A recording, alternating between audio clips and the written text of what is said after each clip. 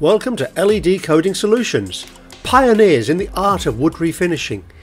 Um, I'm going to go to steps how to apply the oil. Before we apply the oil to the wood surface, the last cut of sanding, it should be 120 grit paper. Once the floor is sanded 120 grit, we're going to go ahead and vacuum the floor and we're going to start application of the oil. After floor is sanded, vacuumed, and ready to put the oil on, if you want deeper color, you can water pop it.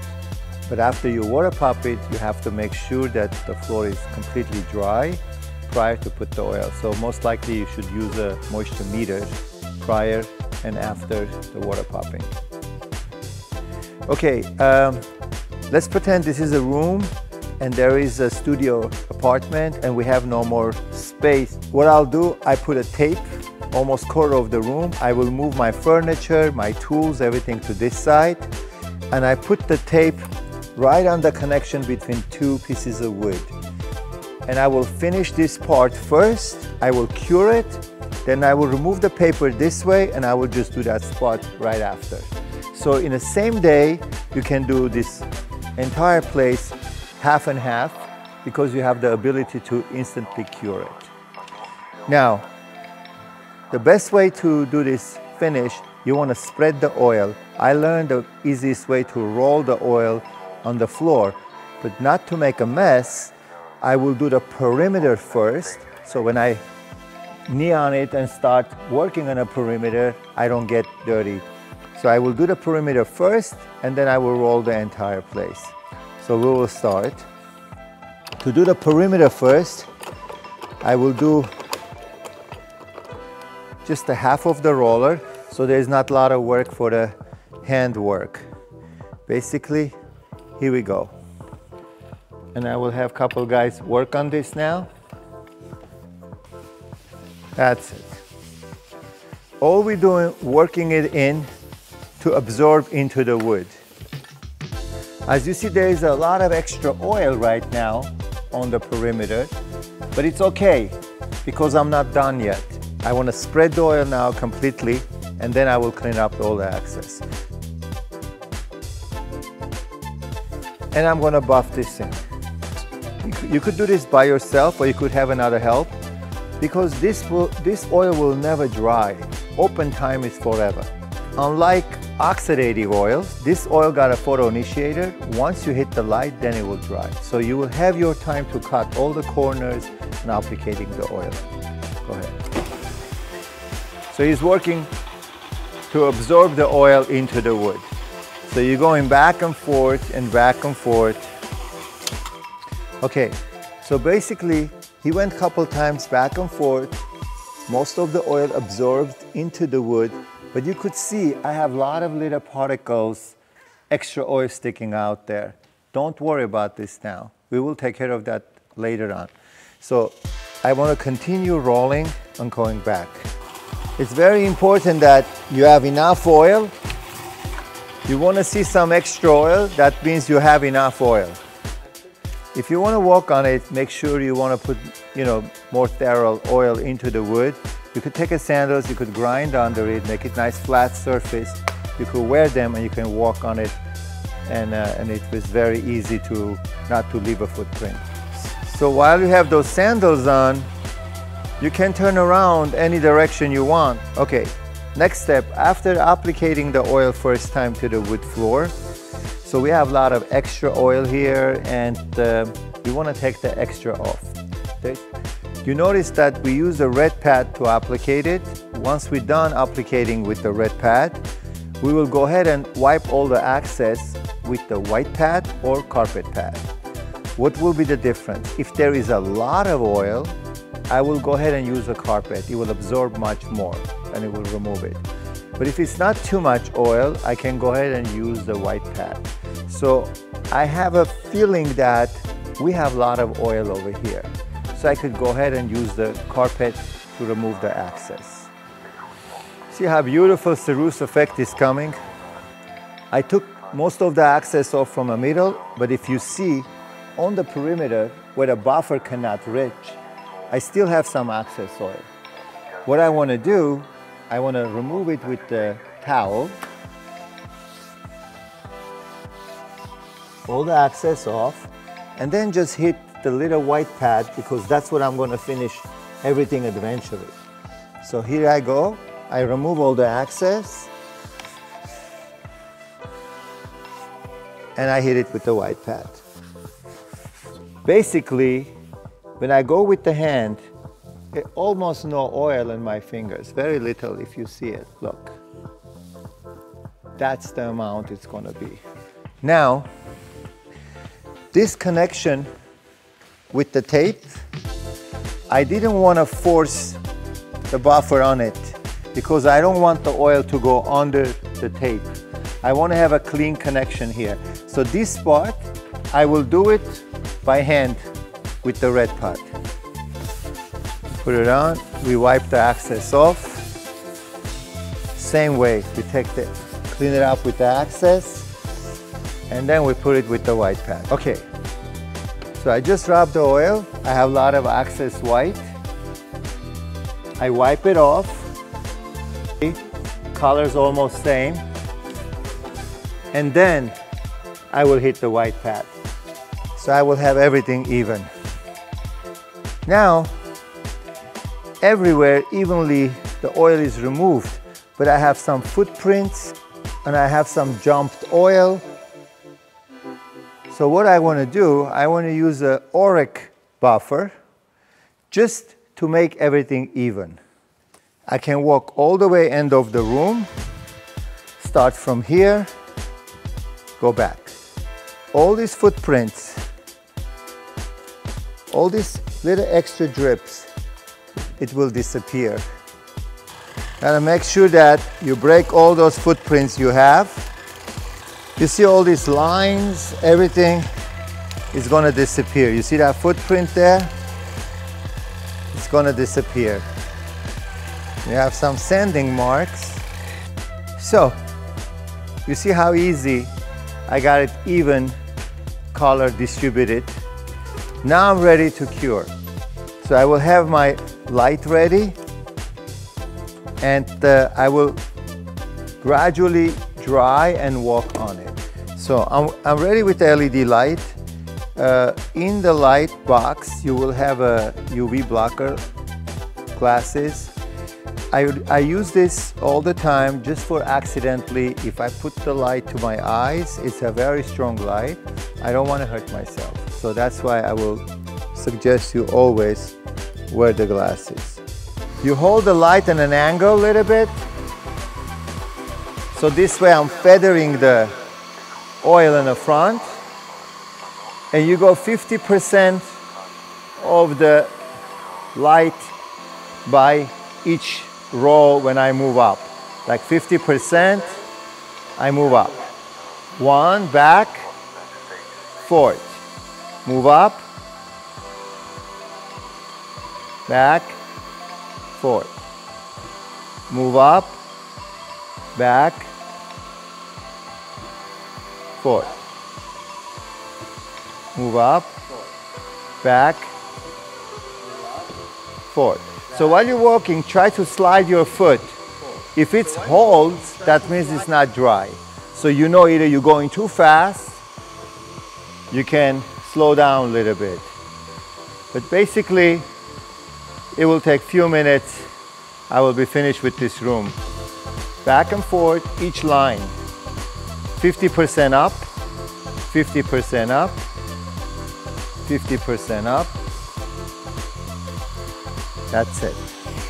So basically I have all my tools because there was no room in the, in the space. I packed, parked all my tools in this side of the room and I have a tape on it and a paper. So I'm gonna remove this paper this way to do that part and then we'll be done. So this way it's very convenient that if you don't have a space, you can use it this way and, and it's done. So now I'm gonna remove the tape and we're gonna put a new tape right here.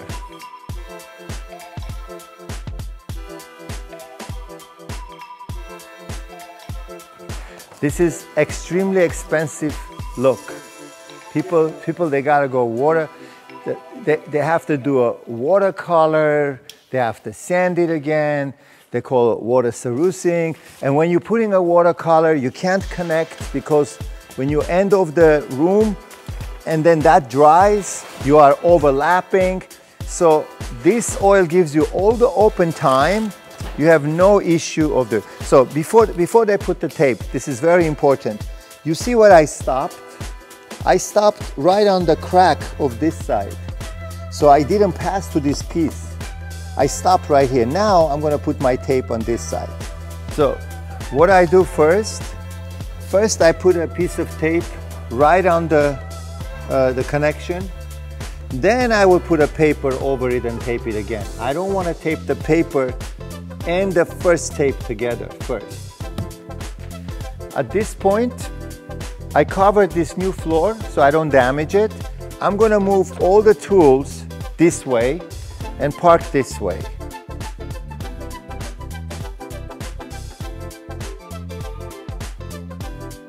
We're gonna applicate the oil same way from the far wall to the end.